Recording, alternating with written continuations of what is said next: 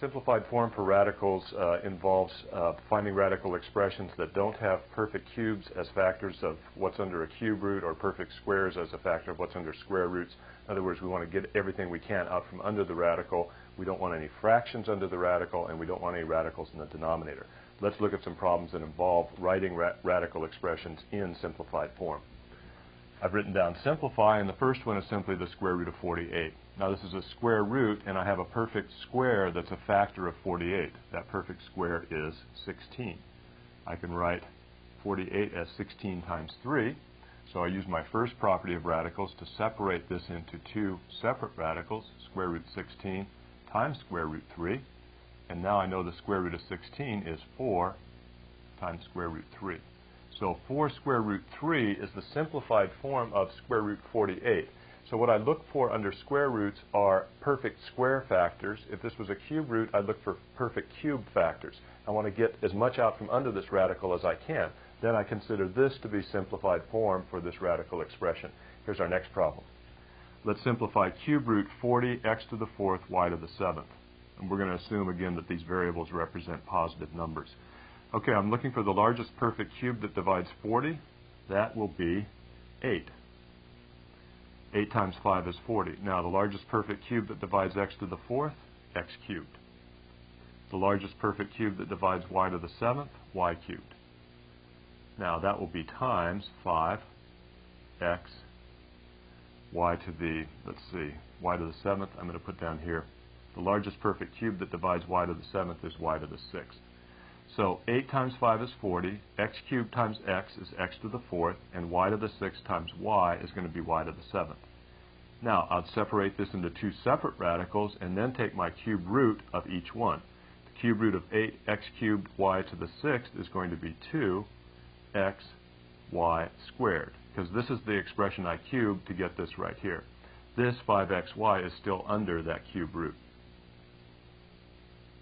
So this is the simplified form of this radical expression right here, and I put it in simplified form by removing the greatest, uh, the factor, the largest perfect cube that's a factor of this radicand right here. And that largest perfect cube turns out to be 8x cubed y to the 6th.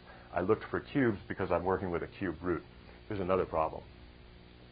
Let's put square root 1 fifth into simplified form. It's not in simplified form because we have a fraction under a radical. So I'll separate this into two separate radicals, square root 1 over square root 5, using property 2 for radicals. Now that's going to be square root of 1, which is 1, over square root 5. Now this is not in simplified form because I have a square root in the denominator. To get rid of that, I'll do what's called rationalizing the denominator by multiplying the whole fraction by the number 1 in the form square root 5 over square root 5. In the numerator, I get square root 5 in the denominator, I get square root 25, which is just 5. Now, this expression is in simplified form because there's no perfect square that's a factor of 5, so I can't get any more out from under the radical. There's no fractions under this square root, and there's no square roots in the denominator. So a radical expression that satisfies those three criteria is said to be in simplified form for radicals. Let's look at one last problem. Square root of 75x cubed y squared, all divided by 2z. First thing I'm going to do is separate this, separate the numerator and denominator into two separate radicals.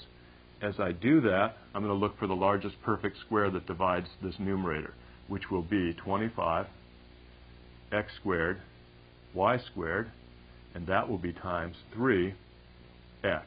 So 3 times 25 is 75, x times x squared is x cubed, and then I have my y squared right there. That's all divided by square root of 2z. Now, this will be equal to, when I take this square root separately, 5xy square root 3x all divided by square root 2z. Now I want to check this and see if it's in simplified form. There's no perfect squares that divide this or this, so I've gotten everything I can out from under the radicals. There's no fractions underneath each one of these, but I do have a radical in the denominator, so I need to get rid of that. Then the expression that's left after I do that will be in simplified form. So I rationalize the denominator by multiplying numerator and denominator by square root 2z. In the numerator, I have 5xy square root of Square root 3x times square root 2z will be square root 6xz. In the denominator, square root 2z times square root 2z will be simply 2z. And this is the expression that's in simplified form. So this is the simplified form version of this original radical expression. And that's a look at some of the kind of problems that involve putting a radical expression into simplified form.